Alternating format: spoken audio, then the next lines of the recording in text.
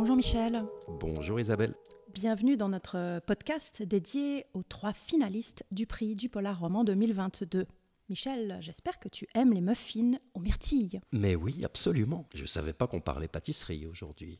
T'inquiète, on va parler polar. Mais le roman de Catherine Roland, Les Inexistants, sent les muffins aux myrtilles à toutes les pages. C'est très agréable. C'est que les muffins sont la spécialité de l'héroïne, Camille, qui tient un petit restaurant qui ne ferme jamais, nommé Au péché gourmand. Et forcément, quelque chose va l'empêcher de cuisiner. Forcément. Un soir, elle apprend qu'un tueur en série rôde en ville et que la police s'apprête à l'arrêter. Elle se calfeutre dans son restaurant où elle retrouve chaque soir le vigile, Noam, un ancien professeur venu d'Irak, qui craint d'être expulsé. Le roman se déroule durant une seule nuit. C'est donc un huis clos passionnant, troublant, auquel se joint Maxime, un marginal étrange qui entend des voix. Camille s'y attache immédiatement, mais Noam est plus méfiant. Et si l'un des deux était le fameux tueur en série? Elle a une sacrée imagination, cette Catherine Roland. D'autant plus que c'est son premier polar. Elle a une double vie, Catherine Roland. Elle est médecin urgentiste et par ailleurs, elle est passionnée d'écriture. Elle a publié plusieurs romans qui vont de la saga familiale au drame psychologique en passant par le roman fantastique. Elle anime également des ateliers d'écriture avec succès. Et Les Inexistants est son huitième roman. Je te propose, Michel, de la rencontrer. Avec plaisir. Mais avant de la rencontrer, un petit extrait. Dans l'obscurité, assis sur une chaise, un homme le regarde fixement. Dans sa main gauche, il tient un revolver collé contre sa tempe. Noam se fige, le cœur battant à une allure folle. Uruk s'est assis, inclinant légèrement la tête en signe d'incompréhension curieuse, observant lui aussi cet humain immobile et muet. Il ne grogne plus. Noam ouvre la bouche, la referme. Il est jeune, vingt-six, vingt-sept ans tout au plus, blond, une barbe pas très épaisse, des cheveux longs noués au sommet du crâne en un chignon très serré, une chemise blanche, un pantalon de costume gris, des chaussures en cuir fin. Elles valent cher. Ça se remarque tout de suite à la qualité du grain et à la finesse des coutures. Noam s'y connaît en matière de chaussures. Son père était maroquinier avant qu'il y ait la guerre, et que ceux de leur pays aient soudainement beaucoup d'autres choses à penser que ce qu'ils portaient aux pieds. J'ai besoin de personne, balbutie l'intrus, les ragards. On t'a rien demandé? Tire-toi. Vous. Vous ne devriez pas être là, réplique Noam, aussi conciliant que possible. Pendant quelques secondes, l'homme le dévisage d'un air d'incompréhension, puis arrache le canon de sa tempe et le braque. La bouche asséchée, le vigile recule d'un pas, les yeux fixés sur l'arme. La main tremble, il est aux abois. Il a peur ou il est fou?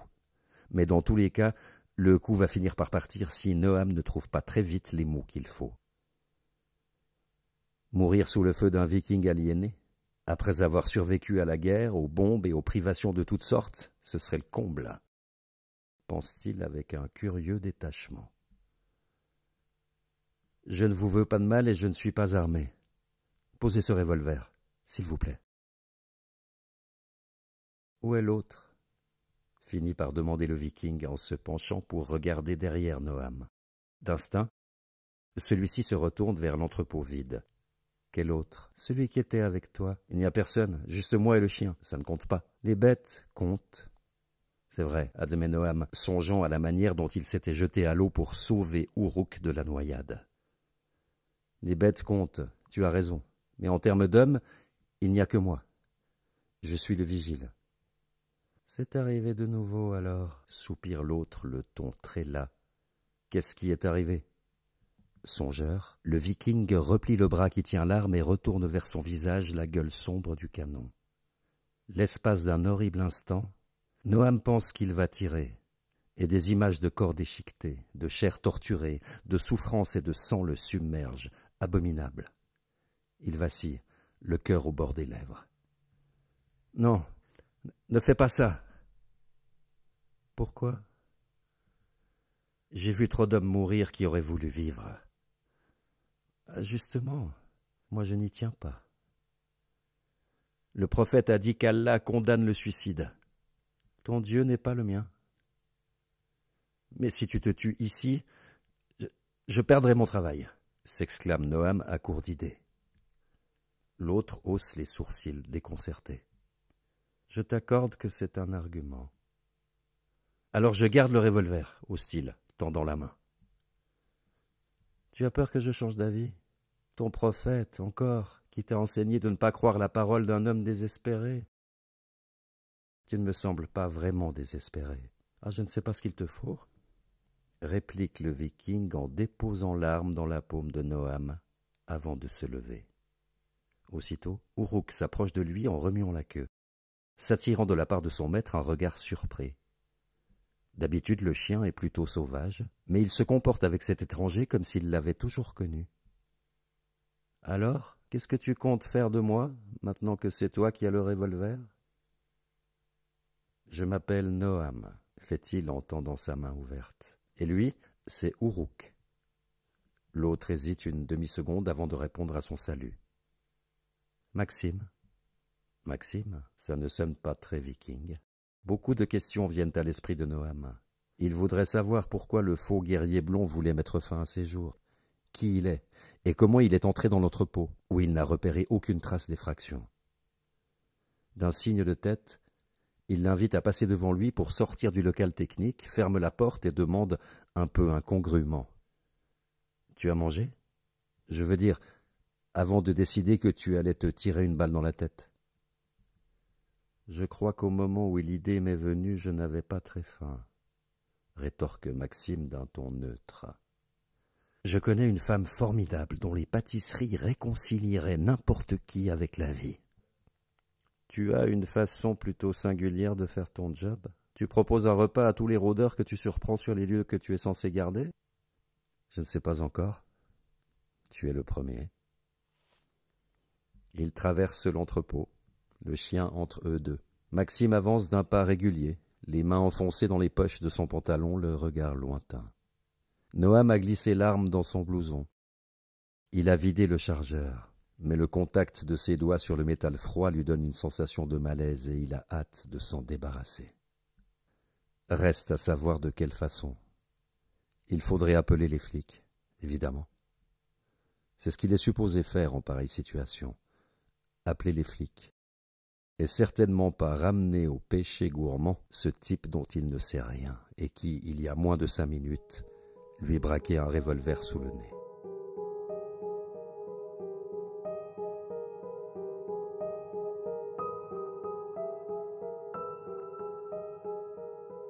Catherine Roland, pourquoi avoir choisi cet extrait comme lecture, cet extrait où euh, Noam découvre Maxime et s'ensuit ce face à face pour le moins tendu? Alors c'était un exercice très difficile de choisir l'extrait. Euh, j'ai hésité entre plusieurs passages et si j'ai choisi celui-ci, c'est parce que pour moi c'était euh, vraiment un tournant dans, le, dans le roman, un moment fondamental puisque dans ce roman il y a trois personnages et on démarre finalement avec deux et on a ce troisième personnage qui va faire irruption dans le, la relation euh, à deux finalement entre Noam et, euh, Camille et qui va euh, bouleverser leur petit monde et être un élément fondamental de l'intrigue. Donc ça me paraissait important de choisir cet extrait. Et par ailleurs, je trouvais intéressant euh, de porter mon choix sur un extrait où il y a euh, une bonne part de dialogue, parce que le roman, euh, c'est assez représentatif du roman, où il y a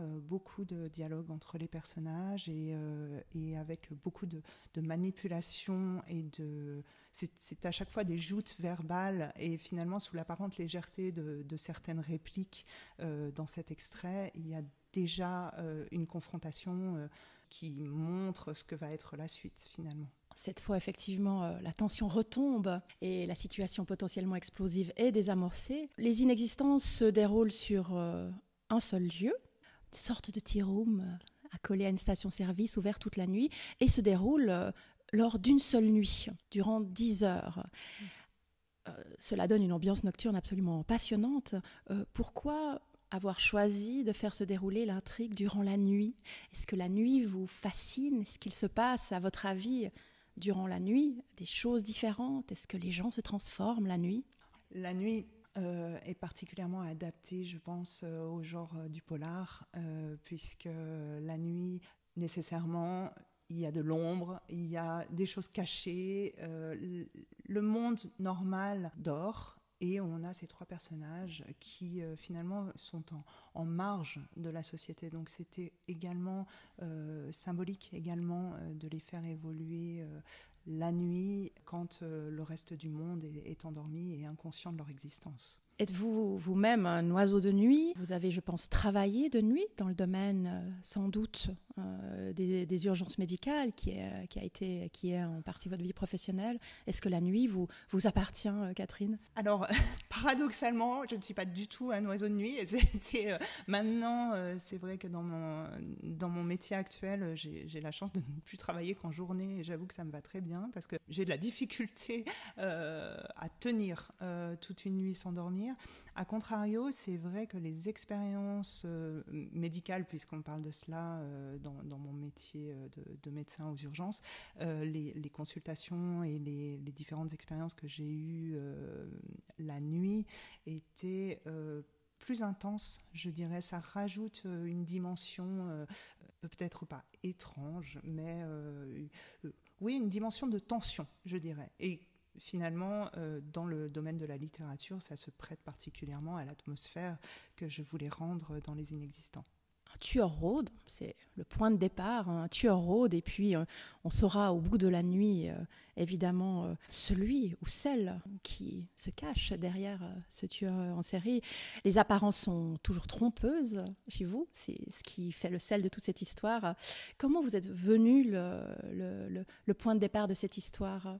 Il y a eu plusieurs, comme toujours dans une histoire, elle ne vient jamais d'un seul coup. Euh, je pense que j'avais écrit euh, dans, mes, romans précédents, euh, j'avais mis en scène des, grandes fresques qui, avaient un vaste décor, qui se passait dans plusieurs endroits, plusieurs pays, voire même avec des trames temporelles différentes et parallèles. Et peut-être en réaction à cela, j'avais envie d'écrire quelque chose de beaucoup plus ramassé, de, beaucoup plus euh, concis, entre guillemets, et qui, se passe finalement au même endroit dans un laps de temps très limité et qui oblige à développer euh, surtout les personnages et les relations entre les personnages. Et c'était là-dessus que je voulais mettre l'accent. Vous abordez le genre polar, vous avez pratiqué euh, de multiples genres et, là, vous plongez dans le noir, même un thriller. Est-ce que ça a été un plaisir à écrire et pourquoi euh, vous plongez dans le, monde du polar avec euh, les inexistants? J'aime les défis, je pense. Euh, j'aime les défis. C'est vrai que j'avais jamais euh, écrit de, de, de, romans noirs. Enfin, j'avais écrit des petites nouvelles par-ci par-là, mais jamais de, romans noirs, effectivement. Euh, mais j'affectionne particulièrement le, changement de genre. J'aime beaucoup expérimenter des nouvelles choses dans l'écriture. Je trouve que de rester toujours dans le même genre, on a le risque de tourner en rond au bout d'un moment, d'écrire toujours le même roman, c'est quelque chose que je ne veux pas. Et euh, finalement, le fait de passer, bon, les précédents euh, étaient plutôt dans le, dans le registre fantastique, et là, de passer au contraire euh, sur une histoire réaliste, finalement, et, assez dépouillée dans, dans son décor, c'était un contraste qui, qui m'a beaucoup plu et, émoustillé, je dirais. Vous êtes vous-même une grande lectrice de polar? J'ai mes périodes. J'ai mes périodes. Euh, alors, je ne suis pas une grande lectrice de polar, c'est pas mon genre favori.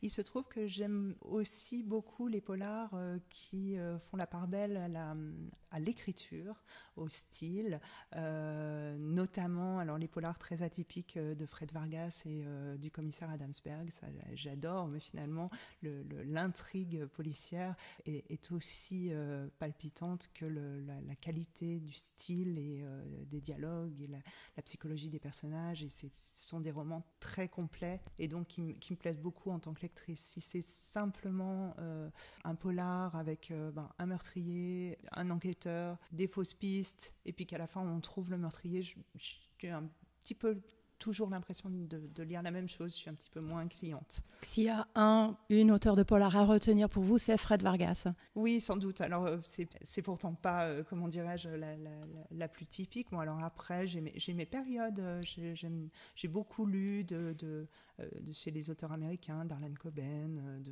j'ai aussi lu chez les, les, Français pas mal de, de, Chatham ou de, de Tilliez, enfin, quelques Sandrine Colette. J'en lis, mais c'est vrai que je ne lis pas que ça. On vous retrouvera dans le genre polar?